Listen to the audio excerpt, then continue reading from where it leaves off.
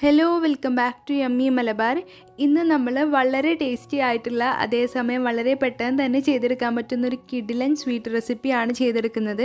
നമ്മുടെ വീട്ടിലുള്ള ചേരുവകൾ മാത്രം മതിയാകും നമുക്കിത് ചെയ്തെടുക്കാനായിട്ട്. അപ്പോൾ നമുക്ക് ഒട്ടും താമസിയാതെ വീഡിയോയിലേക്ക് പോകാം. അതിന് മുന്നേ ആയിട്ട് എം ഇ മലബാർ ആദ്യമായിട്ട് കാണുന്നവരുണ്ടെങ്കിൽ ഒന്ന് സബ്സ്ക്രൈബ് ചെയ്യണേ. അപ്പോൾ നമുക്ക് വീഡിയോയിലേക്ക് പോയാലോ? ആദ്യം ഒരു പാൻ എടുക്കുക. അത് ചൂടായി വന്നാൽ ഇതിലേക്ക് ഒരു മുക്കാൽ കപ്പ് അളവിൽ നമുക്ക് മൈദ മാവ് ചേർത്ത് കൊടുക്കാം. മൈദക്ക് പകരം നിങ്ങൾക്ക് ഗോതമ്പ് പൊടിയും യൂസ് ചെയ്യാവുന്നതാണ്. മൈദയാണെങ്കിൽ ഒരു പ്രത്യേക ടേസ്റ്റ് ഉണ്ടാകും. ഇനിയിപ്പോൾ നിങ്ങൾക്ക് കുട്ടികൾക്കൊക്കെ കൊടുക്കുമ്പോൾ മൈദ കൊടുക്കാനായിട്ട് പേടിയൊക്കെ ഉള്ളവരാണെങ്കിൽ ഗോതമ്പ് പൊടി യൂസ് ചെയ്യാം. ഗോതമ്പ് പൊടി യൂസ് ചെയ്യുമ്പം അരിച്ചിട്ട് വേണം നമ്മൾ ഇതുപോലെ റോസ്റ്റ് ചെയ്തെടുക്കാനായിട്ട്. ഇനി നമുക്കൊരു മീഡിയം ഫ്ലെയിമിൽ വെച്ചിട്ട് കൈവിടാതെ ഒരു രണ്ടോ മൂന്നോ മിനിറ്റ് നമുക്കിതൊന്ന് റോസ്റ്റ് ചെയ്തെടുത്തിട്ട് വരാം. അപ്പോൾ മൈദ എല്ലാം റോസ്റ്റായി വന്നിട്ടുണ്ട്. ഇനി നമുക്ക് ഫ്ലെയിം ഓഫ് ചെയ്തിട്ട് വേറൊരു ബൗളിലോട്ട് മാറ്റാം. ഈ പാനിൽ തന്നെ വെച്ച് കഴിഞ്ഞാൽ ഇത് പെട്ടെന്ന് കരിഞ്ഞു പോകും. അപ്പോൾ ആ ഒരു കാര്യം ശ്രദ്ധിക്കുക. ശേഷം വേറൊരു പാനിലേക്ക് ഞാനിവിടെ നമ്മൾ ഏത് കപ്പിലാണോ മൈദ അളന്നെടുത്തത് ആ കപ്പിന്റെ രണ്ട് കപ്പ് അളവിൽ നമ്മൾ പാലെടുക്കണം. അപ്പോൾ നിങ്ങൾക്ക് ഇഷ്ടമുള്ള കപ്പിൽ നിങ്ങൾക്ക് മൈദ അളന്നെടുക്കാം. എന്നിട്ട് പാൽ തിളക്കാനായിട്ട് വെയിറ്റ് ചെയ്യാം. അപ്പോൾ പാൽ ഇവിടെ തിളച്ച് വന്നിട്ടുണ്ട്. കൂടുതലായിട്ട് തിളക്കേണ്ട ആവശ്യമൊന്നുമില്ല. ജസ്റ്റ് ഇതുപോലെ അങ്ങ് പൊങ്ങി വന്നു കഴിഞ്ഞാൽ നമ്മൾ നേരത്തെ വറുത്ത് മാറ്റി വെച്ച മൈദ മാവ് ഇതിലേക്ക് ചേർത്ത് കൊടുക്കണം. അപ്പോൾ മൈദ മാവ് ചേർത്ത് കൊടുത്തതിന് ശേഷം നമ്മൾ കണ്ടിന്യൂസ് ആയിട്ട് മിക്സ് ചെയ്തുകൊണ്ടേ ഇരിക്കുക അപ്പോൾ ഈ മൈദ മാവ് ചേർത്ത് കൊടുത്തതിന് ശേഷം നമ്മൾ ഫ്ലെയിം നല്ല സിമ്മിലാക്കണം. വളരെ കുറഞ്ഞ് തീയിൽ വെച്ചിട്ട് വേണം നമ്മളിത് തിക്കാക്കി എടുക്കാനായിട്ട്. അപ്പോൾ മൈദ ചേർത്തിട്ടുണ്ട്. ഇനി നമുക്ക് കണ്ടിന്യൂസ് ആയിട്ട് മിക്സ് ചെയ്തുകൊണ്ടേ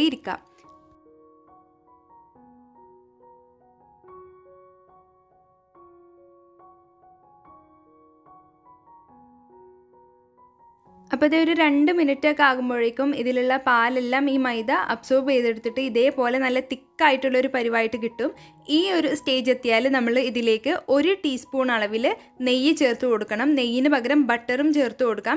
സൺഫ്ലവർ ഓയിലിനേക്കാളും എന്തുകൊണ്ടും നല്ലത് നമ്മൾ നെയ്യോ ബട്ടറോ ചേർക്കുന്നതാണ്. പക്ഷെ ഒന്നും കൂടെയും ഞാൻ പ്രിഫർ ചെയ്യുന്നത് നെയ്യ് തന്നെ ചേർക്കണം എന്നാണ്. നമ്മൾ ഈ സ്വീറ്റ് റെസിപ്പിയിലൊക്കെ നെയ്യ് ചേർത്താലാണ് ആ സ്വീറ്റിന്റെ ഒരു സ്പെഷ്യൽ ടേസ്റ്റ് നമുക്ക് കിട്ടുകയുള്ളൂ. അപ്പോൾ ഒരു ടീസ്പൂൺ അളവിൽ ഞാൻ നെയ്യും കൂടി ചേർത്ത് കൊടുത്തിട്ട് നമുക്ക് വീണ്ടും നന്നായിട്ട് മിക്സ് ചെയ്തെടുക്കാം. അപ്പോൾ നമ്മളിത് മിക്സ് ചെയ്ത് എടുക്കുമ്പം ഈ പാനിൽ നിന്ന് ഇതങ്ങ് വിട്ടു പോരും കണ്ടില്ലേ? നന്നായിട്ട് നല്ല പെർഫെക്റ്റ് ആയിട്ട് അങ്ങ് വിട്ടു പോരും ഈ ഒരു പരിവ എത്തിയാൽ നമ്മൾ ഇതിലേക്ക് അടുത്തതായിട്ട് ചേർക്കേണ്ടത് പൊടിച്ച പഞ്ചസാരയാണ്. നിങ്ങൾ ഏത് കപ്പിലാണ് മൈദ എടുത്തത് ആ കപ്പിന്റെ അളവിൽ നിങ്ങൾക്ക് പൊടിച്ച പഞ്ചസാര ചേർക്കാം. ഇനിയിപ്പോൾ നിങ്ങൾക്ക് ഇത്രയും മധുരം വേണ്ടെങ്കിൽ നിങ്ങൾക്ക് പൊടിച്ച പഞ്ചസാര തന്നെ ഇതിന്റെ ഒരു പകുതി ആക്കിയിട്ടും എടുക്കാം. പക്ഷേ നന്നായിട്ട് മധുരം ഇഷ്ടമുള്ളവർക്കാണെങ്കിൽ ഈ ഒരു അളവിൽ തന്നെ ചേർത്ത് കൊടുത്താൽ മതി. പൊടിച്ച പഞ്ചസാര ചേർക്കുന്നതാവും നല്ലത്. ഞാനിപ്പോഴും ഫ്ലെയിം ഒന്നും ഓഫ് ചെയ്തിട്ടില്ല. ഇനി നമ്മൾ നന്നായിട്ട് മിക്സ് ചെയ്ത് കൊടുത്തു കഴിഞ്ഞാൽ ഈ ബാറ്റർ ഒന്നും കൂടെ അങ്ങ് ലൂസായിട്ട് കിട്ടും.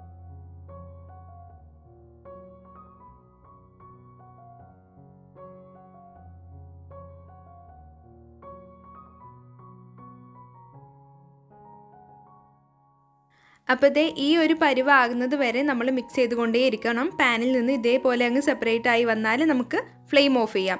ശേഷം നമുക്കിത് സെറ്റ് ചെയ്യാൻ വേണ്ടി വെക്കാം. അപ്പോൾ ഇത് സെറ്റ് ചെയ്യാനായിട്ട് നിങ്ങൾക്കൊരു സ്റ്റീൽ തട്ടോ നിങ്ങൾക്ക് നിങ്ങളുടെ കയ്യിൽ എന്താണോ ഉള്ളത് അത് നിങ്ങൾക്ക് സെറ്റ് ചെയ്യാൻ വേണ്ടി എടുക്കാം.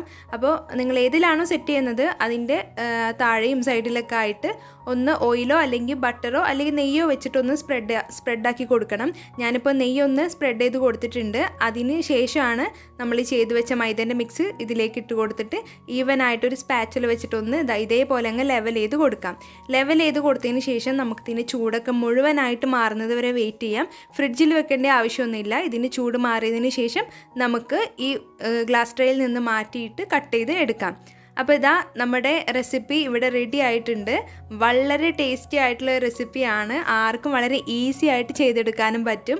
അപ്പോൾ എല്ലാവരും ഇതൊന്ന് ട്രൈ ചെയ്ത് നോക്കണം. നല്ല ടേസ്റ്റാണ് ഇത് കഴിക്കാനായിട്ട്. ഇതൊക്കെ നമ്മുടെ വീട്ടിലുള്ള ചേരുവകൾ മാത്രമല്ലേ? അപ്പോൾ എല്ലാവരും ട്രൈ ചെയ്ത് നോക്കുക. ട്രൈ ചെയ്തിട്ട് ഫീഡ്ബാക്ക് അറിയിക്കാൻ മറക്കരുത്. വീഡിയോ ഇഷ്ടമായാൽ എല്ലാവരും ഒന്ന് ലൈക്ക് ചെയ്യുക ഷെയർ ചെയ്യുക. പിന്നെ ചാനൽ ഇതുവരെ സബ്സ്ക്രൈബ് ചെയ്യാതെ കാണുന്നവരുണ്ടെങ്കിൽ സബ്സ്ക്രൈബ് ചെയ്ത് സപ്പോർട്ടും ചെയ്യുക. താങ്ക്